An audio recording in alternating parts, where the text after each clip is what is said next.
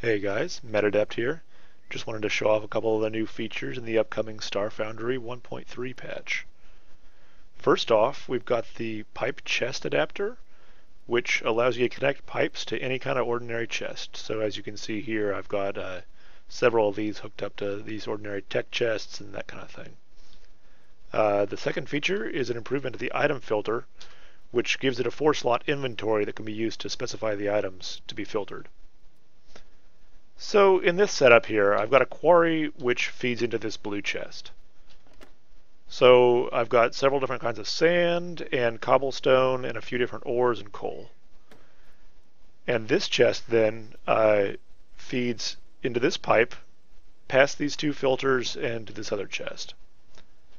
So this filter has only ores in it.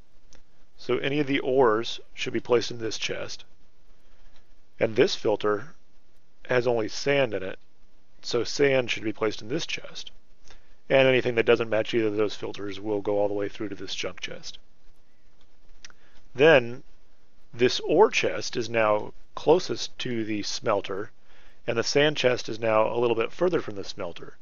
So when I automatically smelt things, it should preferentially smelt ores first and sand second. So let's try this all out and see if it works. I've got this node hooked up here, so when I power this switch, it'll begin ejecting items out of this blue chest. And as we can see, it's filtering them through. And that chest is now empty. And this chest now has a few different kinds of ore in it. This chest now has a few different kinds of sand in it. And this chest has all the rest. So now when we smelt, As you can see, we're going to get all of our ores first.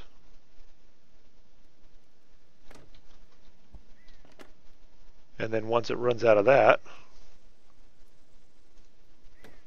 then we'll begin smelting sand. So this is a nice way to get some automation in the sorting and processing of materials from uh, something that inputs a lot of miscellaneous items like a quarry.